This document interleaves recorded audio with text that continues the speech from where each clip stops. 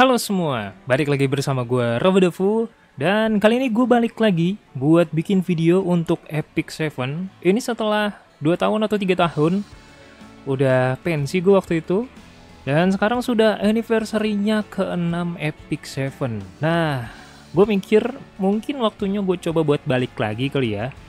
Untuk Epic 7 sendiri ini udah setelah 6 tahun Dari tahun 2018 sampai tahun 2024 sekarang dan sebetulnya gue waktu itu coba login dua bulan yang lalu, tapi gue masih ragu sebetulnya di situ buat bikin konten Epic Seven.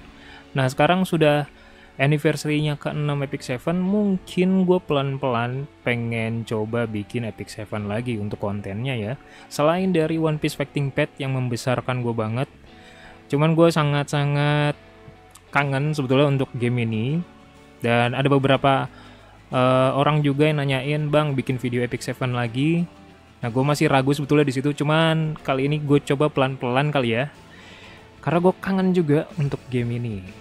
Mungkin untuk karakter gue udah ketinggalan zaman banget kali ya. Ini karakter-karakter gue ini Moonlight-nya tuh.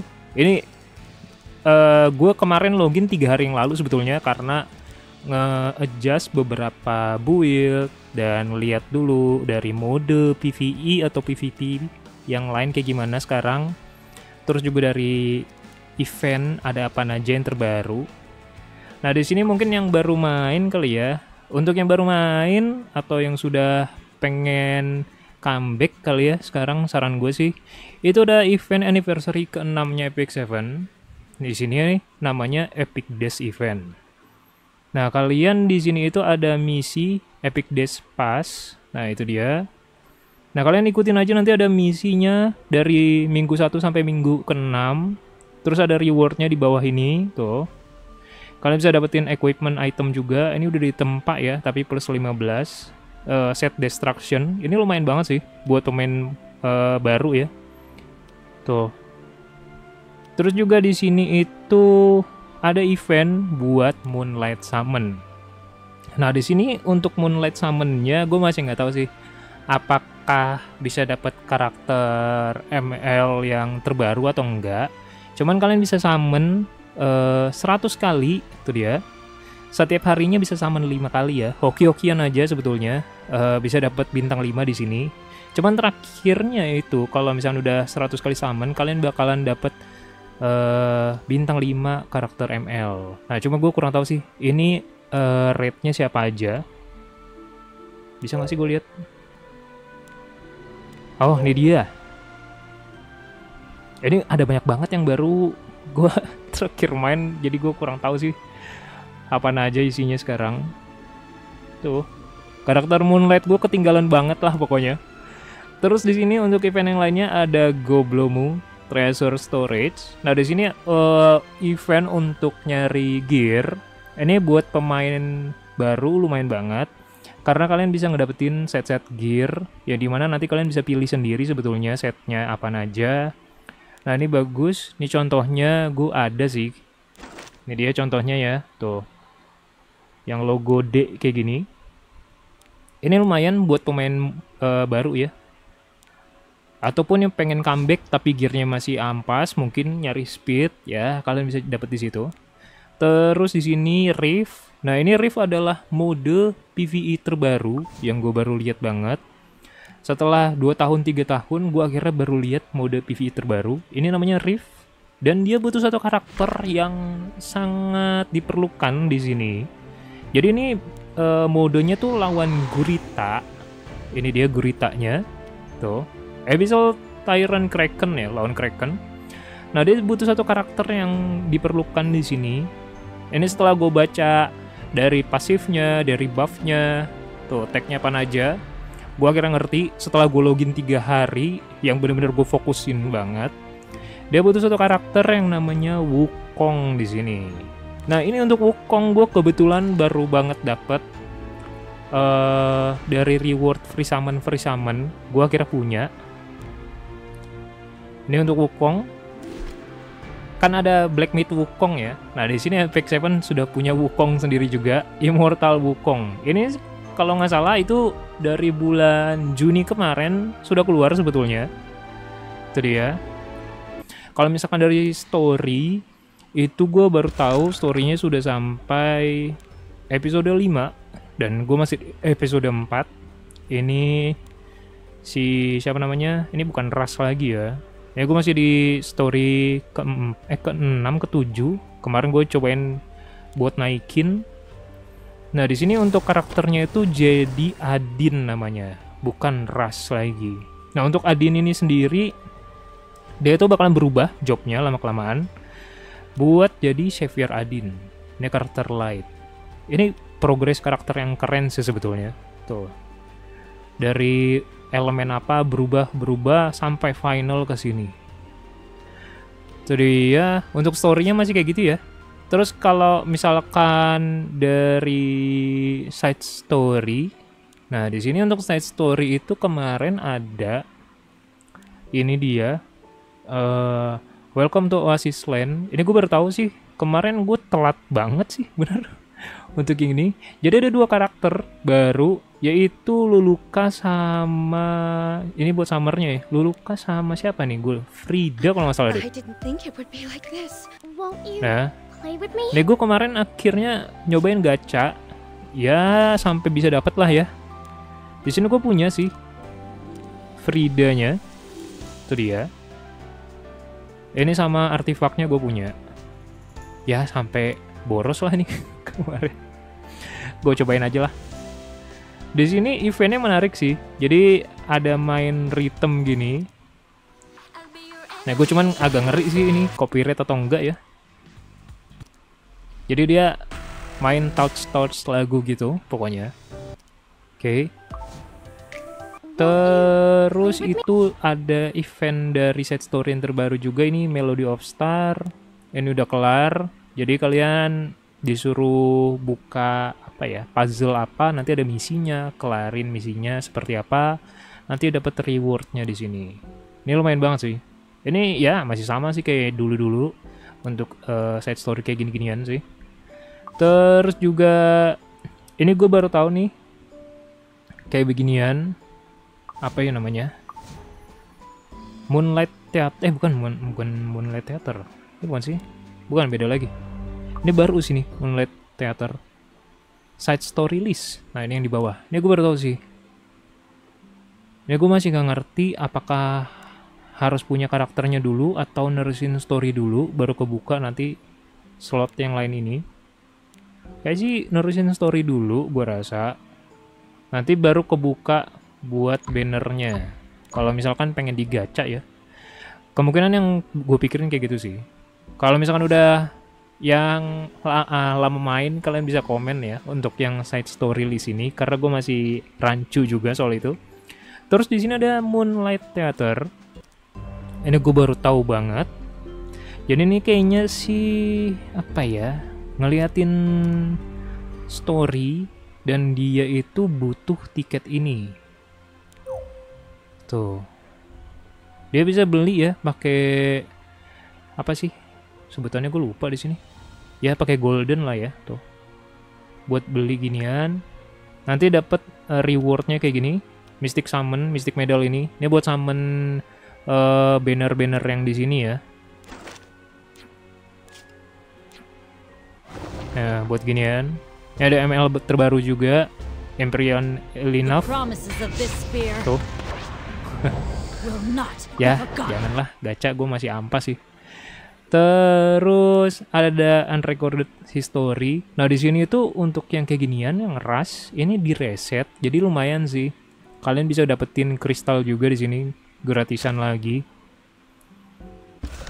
Ya dapetin sky stone kristal, dapat SS, ya. Ini lumayan sih dapat lagi. Terus apa lagi ya? Mungkin dari Oh ya, di sini itu untuk event ada lagi di sini gue baru lihat banget kayak begini sistemnya sekarang. Tuh, dia di sini ada watch daily buat ngambil stamina. Terus juga kemarin ada total views. Nih bisa dapat rewardnya juga. Tuh. Ini lumayan sih yang pengen comeback ataupun yang baru main ya. Tuh, oh ini gue berambil. Oh, lumayan. Tuh. Bisa dapat gini-ginian. Lumayan banget sih. Ini game tuh sebetulnya memang benar-benar free to play untuk Epic Seven sebetulnya. Cuma masalah speed aja. gue nggak tahu metanya sekarang tuh apa. Tapi kemarin gue coba tanya metanya itu bruiser tapi main speed. Terus juga kalau misalkan dari segi PvE-nya yang Han ini, ya ini masih sama ya. Cuman ada set terbaru yang Kaides yang gue baru lihat itu namanya Torrent set. Ini gue baru lihat sih. Untuk timnya nanti aja lah ya. Gue karena uh, apa yang gue pengen omongin dulu. Ini gue kangen banget sebetulnya untuk gamenya. Terus untuk Abyss ini masih sama sampai masih di floor 120. Gue kira sudah sampai floor berapa. Cuma masih belum bisa gue kelarin dari dulu karena memang susah. Terus juga di sini ada yang level terbarunya challenge mode. Ini dia. Ini udah Oh, ini jauh sih. Udah level 20 juga floornya. Jadi ya mungkin nanti gue lihat guide-guide orang kali ya kalau yang inian Terus kalau misalkan dari segi automaton tower ini masih sama aja. Ini gue udah kelar sih. Tuh, you have already received. Ini gue kemarin gue kelarin. Terus untuk expedition juga masih sama aja. Belum oh, belum ada bedanya. Ini gue ke kebetulan baru kelar tadi. Itu dia. Ini masih sama aja. Yang baru sih emang bener riff ini aja sih. Sama apa ya? Oh ya sama ini. Adventure pet. Ini gue baru lihat. Kayaknya entah di reset atau gimana. Ini ada baru lagi. Ini lumayan sih buat pemain yang baru ya. Tuh kalian bisa dapetin reward reward kayak beginian tuh ini buat reward crafting buat reward yang lainnya ini lumayan banget sih. Dan untuk karakter gue baru tahunya itu yang beda itu adalah ini. Jadi untuk upgrade karakter upgrade bintang sekarang max cap levelnya dia nggak butuh ginian lagi kemarin dua bulan yang lalu gue nanya oh dia nggak butuh ginian. Ini legend banget nih gue masih ada kayak ginian. Kemarin gue jual-jualin sih akhirnya. Wow. Ya mungkin uh, pada bingung kali ya kalau misalkan yang baru main ini apa? Ini uh, gunanya buat upgrade bintang ini ya. Dari bintang 5 ke bintang 6 atau enggak bintang 3 ke bintang 4 dan seterusnya. Ya nggak pakai kayak gituan lagi sekarang jadi itu dia sistemnya sekarang itu setelah gue perhatiin di sini untuk upgrade-nya itu dia butuh item mana ya nah kayak ginian nih spirit well ini kalau bintang 2 ke bintang 3 butuh ini. Terus ini ke dari bintang 4 ke bintang 5 butuh ini. Bintang 5 ke bintang 6 dia butuh yang ini. Terus juga di sini itu untuk crafting skill dan yang lain-lainnya ada di sini semua sih sekarang. Beda lagi. Ini untuk nyari penguin buat naikin XP level. Sekarang tuh pakai ginian aja sih buat naikin levelnya mendingan daripada dari di story ya dulu gue inget banget farming farming naikin tumbal itu di story semua tapi sekarang nggak perlu kayaknya dan mungkin terakhir gue kasih lihat untuk karakter ini karakter gue masih ya masih begini karakter terbaru yang gue punya itu sebelum gue pensi ya sebelum gue pensi itu karakter terbaru yang gue punya adalah Arbiter Red. Ini gue baru banget punya Arbi pas gue pensi 2021 kemarin. Gue baru banget punya. Akhirnya gue pensi habis itu. Dan di sini gue coba comeback. Di sini gue coba build, tapi ini kayaknya masih belum jadi banget sih ya untuk si Arbi ini. Tuh dia. Terus untuk karakter lainnya setelah itu ini gue kemarin nyobain gacha dari Moonlight gue punya ginian ini ada ML Space ML Ses ya atau Space ini gue baru punya juga ya nggak tahu sih apakah ini karakter masih bagus atau enggak ya terus sama karakter-karakter lainnya yang bintang 3 ini yang terbaru-terbaru ini Talas lagi namanya Nih gue kangen-kangen aja sih. Gue jadi masih bingung juga sih. Pengen bikin apa. Tuh. eh dan yang ini kemarin Immortal Wukong gue baru dapat. Ini ternyata sangat berguna ya. Ini gue pakai set injury, eh bukan set rage sama set critical ya. Buat yang rift. Terus ini gue baru lihat juga ada ML cheat terbaru. Mage loh. Gue baru lihat ini. Sama ini ML Belona gue kemarin dari shop gue beli aja lah. Iseng nyobain, kayaknya ini keren sih. Gila, Belona udah ada versi lain lagi loh. Terus juga gue baru banget punya Yuvin. Terus ini yang kemar, ini yang tadi Frida. Ada sih. Itu doang.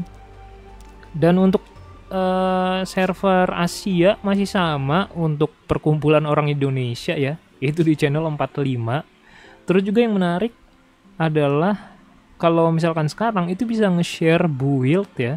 Nah, misalnya kayak gini bisa di-share build-nya. Jadi nggak usah nanya-nanya dari website atau nggak ngelihat grup itu gimana. Kalian bisa eh, sharing build di sini. Ini menarik banget sih. Terus juga yang menarik sendiri itu adalah kalian bisa crafting beginian, edit profile card. Ini menarik banget. Jadi kalian bisa bikin profile card sendiri misalkan tuh. Ini keren sih. Terus bisa ditambah-tambahin lagi, ada emot-emotnya juga kalau yang punya ya. Tuh bisa kasih gini-ginian. Ini menarik sih, ini keren-keren sih. Eh, banyak banget yang bikin yang ngedit-ngedit ginian, itu bagus-bagus. Keren sih. Terus apa lagi ya? Mungkin dari arena.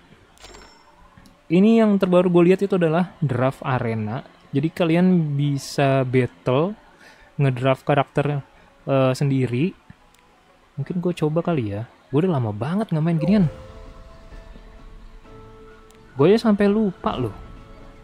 Karena skillnya pasti udah banyak yang di nerf, udah banyak yang dirubah. Itu dia sih. Five minutes later. Oke, the goddess? lama itu Immortal nyerang ini. Gue ada yang bisa ngapus debuff nggak sih? Me again? Ini nggak bisa sih. Nah, aja dah, mort aja udah.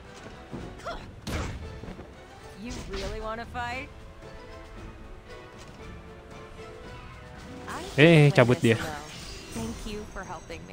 Ini kalau misalkan pakai battle gear, gue pasti jelek banget sih. Ini masih ya, gue baru lihat sih mode itu ya, draft mode. Terus untuk yang lainnya sendiri, arena nih masih sama sih. Tuh ini masih sama. Gue coba buat naikin lagi kali ya ke ranking yang lainnya. Karena gue terakhir ranking itu di arena champion doang sih, champion 5. Habis itu nggak gue terusin lagi. Terus kalau misalkan World Arena RTA ini real time ya. Ini jangan dulu deh. Gue kemarin nyobain pelan-pelan masih kalah mulu. Susah banget. Gue lupa lagi. Apalagi ada karakter-karakter baru soalnya. Jadi gue kagak hafal sama sekali. Terus juga di sini itu gue punya beberapa item yang gue baru nge sih. Tuh, ini ada banyak banget. Di sini juga ada item yang bisa milih, kalau nggak salah, mana ya? Nah ini bisa milih set tuh. Cuman ininya random sih, random stats gitu. Bisa milih aksesoris ya. Lumayan banget sih. Terus yang samping ini juga sama tuh equipment. Ini lumayan banget sih. Dan oke kayak gitu aja dulu untuk sekarang. Ya, ini sorry ya kalau misalkan gue masih ngelindur gimana-gimana, karena gue masih bingung juga mau ngomongin apa. Yang jelas sih, gue coba buat bikin konten lagi untuk Epic Seven kali ke depannya pelan-pelan kali ya. Jadi mungkin ada yang beberapa pengen lihat lagi untuk konten Epic Seven juga kali ya. Jadi ya dan ya Ini banyak banget. Banyak banget eh, teman-teman gue juga sih yang lama di Epic Seven masih main, terus juga ada beberapa yang udah pensi juga sih. Kalau untuk guild ya gue masih belum berani sih. Karena ini butuh komitmen banget sih untuk guild kalau gue rasa. Oke. Jadi gitu aja untuk sekarang. Terima kasih udah nonton. Jangan lupa like dan subscribe-nya sekali lagi. Terima kasih.